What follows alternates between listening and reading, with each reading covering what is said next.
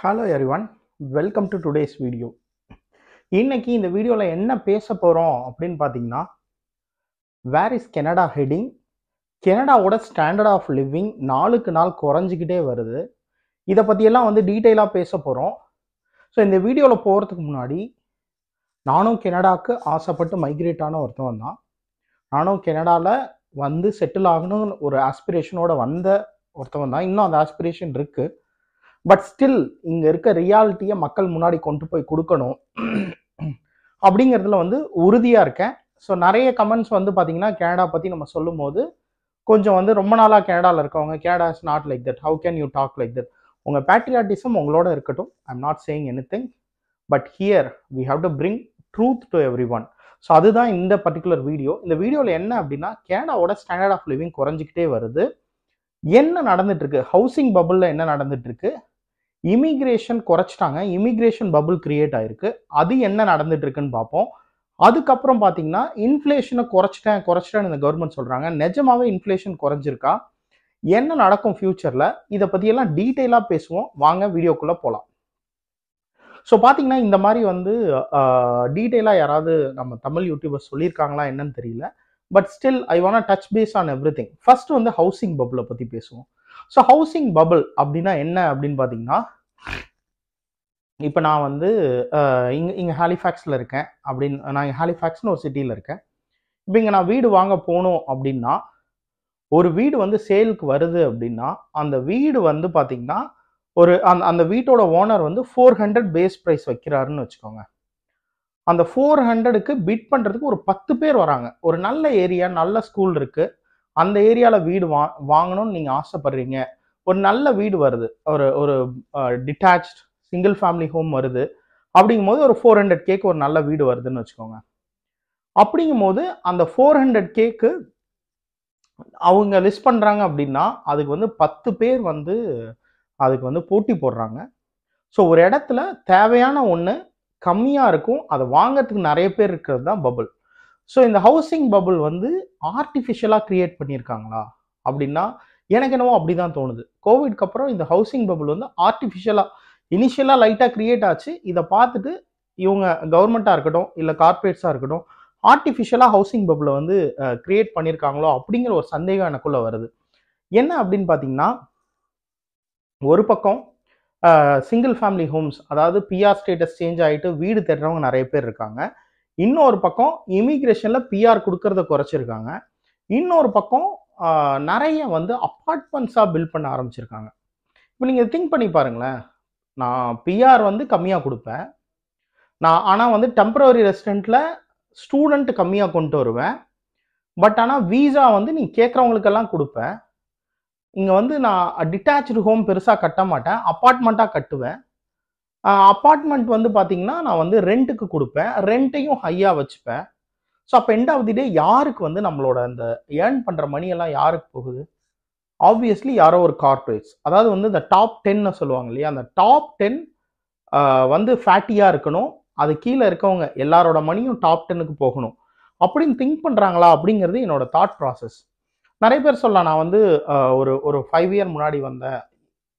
கோவிட்க்கு முன்னாடி நிஜமாவே மார்க்கெட் நல்லா இருந்துச்சு. நிறைய பேர் வந்து கோவிட்க்கு முன்னாடி செட்டில் ஆனவங்க எல்லாருக்கும் சுச்சுவேஷன் இப்போ கம்ப்ளீட்டாக டிஃப்ரெண்ட்டாக இருக்குது கோவிட்க்கு அப்புறம் வந்த எல்லாருக்கும் வந்து பார்த்திங்கன்னா இன்ஃப்ளேஷன் டுவெண்ட்டி டுவெண்ட்டியில் ரொம்ப ஹெவியாக இருந்துச்சு. இப்போ டூ பாயிண்ட் நைன் பர்சன்ட் இன்ஃப்ளேஷனை கொண்டு வந்துட்டோம் அப்படின்றாங்க.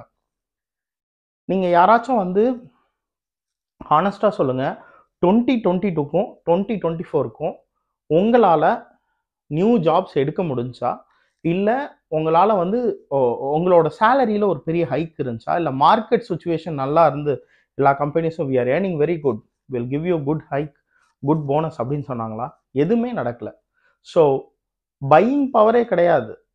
But still they are giving a wrong or mismatch data inflation வந்து குறைஞ்சிருக்கு அப்படின்னு சொல்லி காமிக்கிறாங்க. But honestly inflation is not two point nine percent based on my understanding at least வந்து ஃபைவ் பர்சன்ட் இன்ஃப்ளேஷன் இருக்குது இந்த இன்ஃப்ளேஷன் ரேட் வந்து இந்த கன்சியூமர் இன்ஃப்ளேஷன் ரேட் வந்து பார்த்தீங்கன்னா இவங்க கனடா வந்து கிரியேட் பண்ணுறது இவங்க கிரியேட் பண்ணும்போது அந்த இன்ஃப்ளேஷன் வந்து ரியலி ரியல் டேட்டா கொடுக்கறது இல்லையோ அப்படின்னு இருக்கு. ஏன்னு பார்த்தீங்கன்னா நீங்கள் எந்த ப்ரைஸாக இருக்கட்டும் year on year one fifty three percentage வந்து ரைஸ் ஆகுது. நீங்கள் ஸ்டார்டிங் ஃப்ரம் த பேசிக் ப்ரெட்டாக இருக்கட்டும் இல்லை பேசிக் ஃப்ளார்ஸாக இருக்கட்டும் இல்லை பேசிக் சுகராக இருக்கட்டும் சால்ட்டாக இருக்கட்டும் எல்லாமே வந்து பார்த்திங்கன்னா year on year very big hike இருக்குது ஸோ இந்த மாதிரி ப்ரைஸ் எல்லாம் அப் ஆயிட்டு டவுனே ஆகலை. இன்ஃப்ளேஷன் எப்படி குறையுது? சேலரி அப் ஆகலை. ப்ரைஸ் வந்து ரெண்ட் அப் ஆகுது. மற்றபடி எல்லாமே அப் ஆகும்போது இன்ஃப்ளேஷன் மட்டும் எப்படி? We are we brought in inflation under control two point nine percent அப்படின்றாங்க. அது நிஜமான டேட்டானா அது நிஜமான டேட்டா கிடையாது. என்ன கேட்டிங்கன்னா as a consumer when I look at inflation is not coming down so அதுதான் எனக்கு தோணுச்சு. ஸோ இந்த ஹவுசிங் பபுளை இவங்க வந்து இது அப்படியே வச்சிருக்கணும்னு ஆசைப்படுறாங்க. யார்? அந்த டாப் டென் பர்சன்ட் சொல்கிறேன் இல்லையா? அந்த டாப் டென் பர்சன்ட் வந்து they want the housing bubble there so ஏன் அந்த ஹவுசிங் பபுள் இருக்கணும் அப்படின்னு ஆசைப்படுறாங்க அப்படின்னா ஏன்னா கனடாவில் மோஸ்ட்லி மைக்ரேட் ஆகிற எல்லாருமே பார்த்தீங்கன்னா ஓரளவு அதாவது வந்து நம்ம இந்த மைக்ரேட் ஆகிற இந்த எல்லாருமே வந்து வீடு வாங்கிடக்கூடாது அப்படின்னு சொல்லி கார்ப்பரேட்ஸ் ஆசைப்படுறாங்க. அதனால தான் பார்த்தீங்கன்னா even I have seen everything கண்ணு முன்னாடி பார்த்துருக்கேன் நியூ ப்ராஜெக்ட்ஸ் வந்து சிங்கிள் ஃபேமிலி ஹோம் நியூ ப்ராஜெக்ட்ஸ்க்கு வந்து நிறைய அப்ரூவல் கொடுக்கறதில்ல. ஸோ யாராவது ஒரு பில்டர் வந்து ஒரு ப்ராஜெக்ட் வந்து ப்ரொப்போஸ் பண்ணுறாங்கன்னு வச்சுக்கோங்களேன். இங்கே ஒரு டவுன்ஷிப் கட்டி நான் சிங்கிள் ஃபேமிலி ஹோம்ஸ் வந்து பில்ட் பண்ணுறேன் அப்படிங்கும்போது அந்த பில்டர்கிட்ட ப்ரொப்போஸ் பண்ணுறது இல்லை இல்லை. நீங்கள் வந்து மல்டி ஃபேமிலி ஹோம் இங்கே நிறைய டிமாண்ட் இருக்குது இங்கே வந்து பார்த்தீங்கன்னா நிறைய பேர் இமிக்ரன்ஸ் வராங்க. இங்கே வீடே இல்லை. ஜீரோ பாயிண்ட் டூ பர்சன்ட் தான் அவைலபிலிட்டி இருக்குது நிறைய அப்பார்ட்மெண்ட்டாக கட்டுங்க. அப்படின்னு சொல்லி பார்த்தீங்கன்னா ஒரு ஒரு பெரிய டவுன்ஷிப் கட்டி ஒரு சிங்கிள் ஃபேமிலி ஹோம் கட்ட வந்த ஒரு பில்டரை அவங்களே வந்து ரெக்கமெண்ட் பண்ணி மல்டி ஃபேமிலி ஹோம்ஸ் கட் கட்ட சொல்கிறாங்க ஸோ இது பார்த்தீங்கன்னா இந்த ஹவுசிங் பபுளை அப்படியே வச்சுருக்கணும். ஹவுசிங் ப்ரைஸ் என்றைக்கும் குறைஞ்சிடவே கூடாது. கம்மியான வீடு கட்டணும். அது வாங்குகிற பொட்டன்ஷியல் பையர்கிட்ட வந்து அதிகமாக சேல் பண்ணணும். இதன் மூலயமா லோன்ஸ் மற்ற ப்ரைஸ் எல்லாம் இன்க்ரீஸ் பண்ணிக்கணும். நீங்கள் சிம்பிளாக சொல்கிறேன் நான் ஏற்கனவே ஒரு வீடியோ போட்டிருக்கேன். யூஎஸ் பார்டரில் இருக்க சில சிட்டிஸ் எடுத்துக்கோங்க. யூஎஸ்க்குள்ளே அந்த சிட்டியில் எவ்வளோ ப்ரைஸ் இருக்குது யூஎஸ்க்கு இந்த பக்கம் இருக்க கனடா சிட்டியில் எவ்வளோ ப்ரைஸ் இருக்குது அப்படின்னு சிம்பிளாக கம்பேர் பண்ணி பாருங்கள் நீங்கள் வந்து பஃபலோவும் நைக்ரா ஃபால்ஸையும் எடுத்து பாருங்கள் நைக்ரா ஃபால்ஸ் ஒன்டாரியோவும் பஃபலோவையும் எடுத்து பாருங்கள் இல்லை வின்சரையும் நம்ம டெட்ராய்ட்டையும் எடுத்து பாருங்கள் ஸோ அதுக்கப்புறம் மற்ற சில முக்கியமான டவுன் சொல்லலாம்னா அந்த கியூபக்கில் Montreal Montreal is a very big city. I completely agree. But மான்ட்ரியலும் அப்படியே வந்து யூஎஸ் சைடையும் எடுத்து பாருங்கள் கனெக்டிகட் சைடு எடுத்து பாருங்கள் ஸோ நியர்பை சிட்டிஸாக இருக்கட்டும் பார்டர் சிட்டிஸாக இருக்கட்டும் ஹானஸ்ட்லி நான் சொல்கிறேன் ஒரு டூ ஹண்ட்ரட் கே டிஃப்ரென்ஸ் இருக்குது ஸோ இந்த டிஃப்ரென்ஸ் வந்து இவங்க கெனடாவில் வந்து they wanna keep the corporates wanna keep the housing bubble so அதனால் வந்து பார்த்தீங்கன்னா இப்போ புதுசாக வரவங்க ஹவுஸ் சர்ச் பண்ணுறாங்க அப்படின்னா அவங்களுக்கு வந்து அந்த அந்த ஹோம் ஓனர்ஷிப்புங்கிறது ஒரு பெரிய ப்ராப்ளமாக இருக்குது ஸோ அதனால் இது இது எப்போ சீராகும் ஹவுசிங் பபுள்லாம் எப்போ தே வில் பிரிங் டவுன் அப்படின்னா ஆன்சரே கிடையாது. ஏன் இது வந்து ரொம்ப பெரிய பிரச்சனையாக போயிட்டுருக்கு. ஸோ இதுக்கு வந்து ஒரு ப்ராப்பரான ஆன்சர் கிடையாது. ஹவுசிங் பபுளை எப்போ க்ளோஸ் பண்ண போகிறாங்கிறது ஒரு ப்ராப்பரான ஆன்சர் கிடையாது. ஏன்னா எல்லா சிட்டிஸுமே ஃபோக்கஸ் பண்ணுறது என்ன? இப்போ கேப் பிரிட்டனாக இருக்கட்டும் இங்கே இங்கே நம்மளோட கேப் பிரிட்டனில் பார்த்தீங்கன்னா மல்டி ஃபேமிலி ஹோம்ஸ் நிறைய கட்ட போகிறாங்க எல்லாமே எட்மண்டன்லையாக இருக்கட்டும் இல்லை கேல்கரியாக இருக்கட்டும் எல்லா இடத்துலையும் பார்த்தீங்கன்னா அப்பார்ட்மெண்ட்ஸ்க்கு தான் அப்ரூவல் வருது. நிறைய வந்து சிங்கிள் ஃபேமிலி ஹோம்ஸ் கட்டுறது வந்து கொஞ்சம் கொஞ்சமாக குறைஞ்சிக்கிட்டே இருக்குது நீங்கள் சிங்கிள் சிங்கிள் ஃபேமிலி ஹோம்ஸ் வந்து நிறைய கட்ட ஆரம்பித்தாதான் உங்களுக்கு அது நிறைய நிறைய அவைலபிலிட்டி இருக்கும்போது தான் ப்ரைஸ் அஃபோர்டபுளாக இருக்கும். நிறைய பேர் வந்து ஹோம் ஓனர்ஷிப்பை நோக்கி போவாங்க.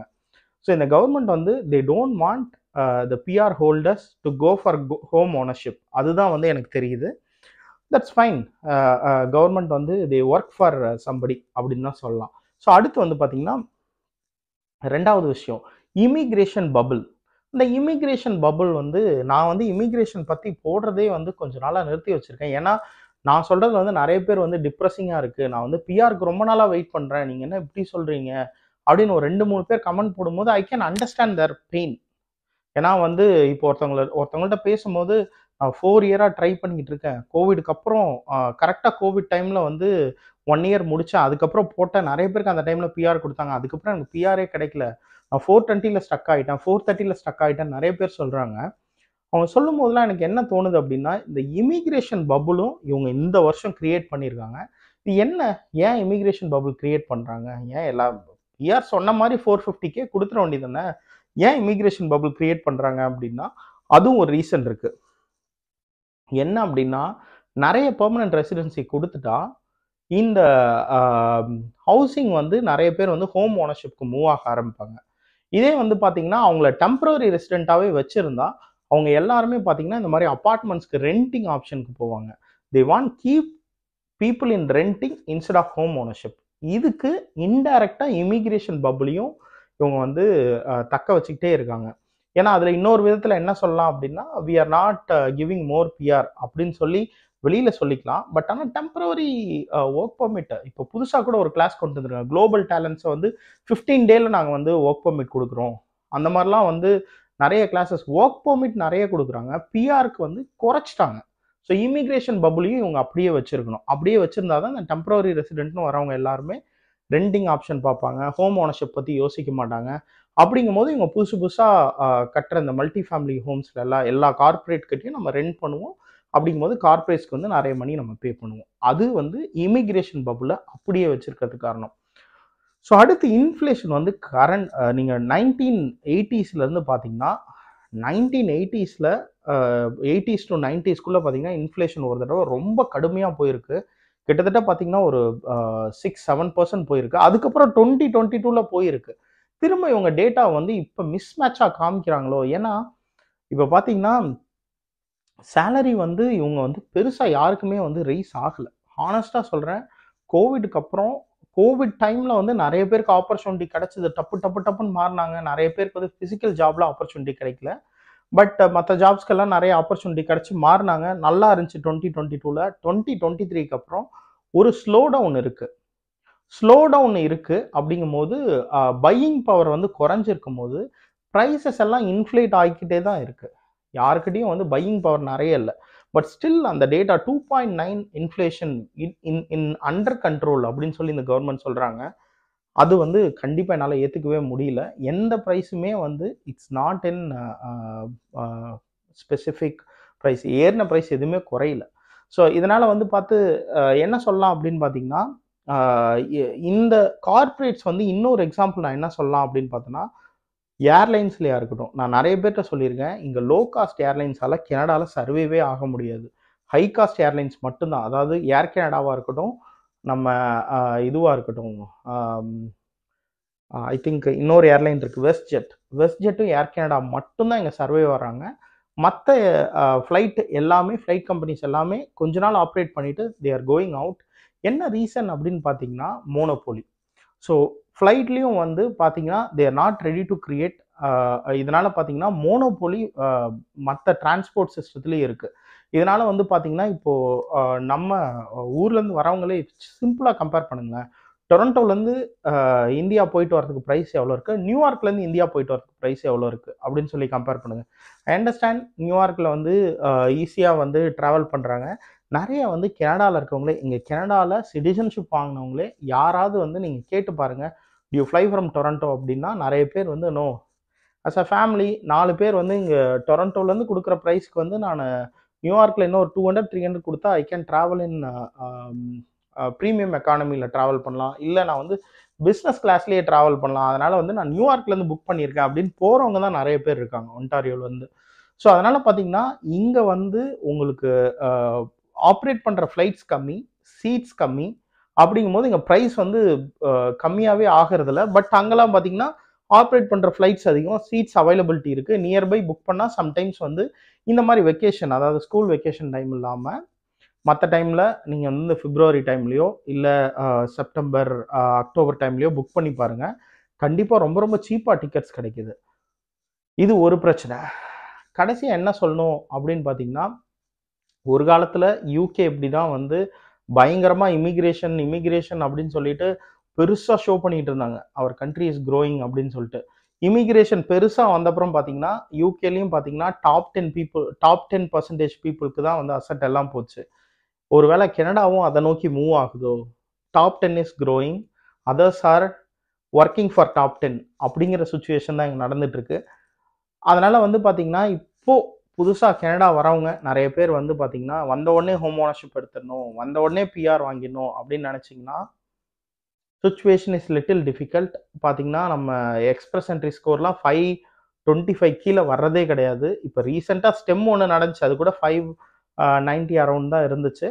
ஸோ அதனால் பார்த்தீங்கன்னா உங்களுக்கு வந்து இப்போ இது இதுக்கப்புறம் கனடா வந்து மைக்ரேட் ஆகணும்னு நினைக்கிறீங்கன்னா ப்ரீ பிளான் பண்ணுங்கள் பிளான் ஃபார் யுவர் ஃப்யூச்சர் எப்படி வந்து இதெல்லாம் பீட் பண்ணி எப்படி சர்வைவ் ஆகலாம்னு திங்க் பண்ணுங்கள் ஸோ இங்கே இருக்க ரியல் சுச்சுவேஷன் அவங்க முன்னாடி கொண்டு வந்து காமிக்கணும். What is happening in housing bubble what is happening in immigration bubble inflation கண்ட்ரோலில் இருக்கா? இதை பற்றியெல்லாம் பேசணும்னு நினச்சேன். ரொம்ப நாள் ஆச்சு இதை பற்றியெல்லாம் பேசி. ஸோ இதை பற்றி ஒரு டீட்டெயிலான இன்ஃபர்மேஷன் கொடுக்கணும்னு நினச்சேன். கண்டிப்பாக உங்களுக்கு இன்ஃபர்மேட்டிவாக இருந்திருக்குன்னு நினைக்கிறேன். நீங்கள் என்ன திங்க் பண்ணுறீங்க are you thinking that your working for top ten கனடாவில் என்ன திங்க் பண்ணுறீங்க அப்படின்னு சொல்லி எனக்கு கமெண்ட் பண்ணுங்கள் ஸோ வந்து நம்ம இன்னொரு நல்ல வீடியோவில் மீட் பண்ணுவோம். Until then bye from Tamil.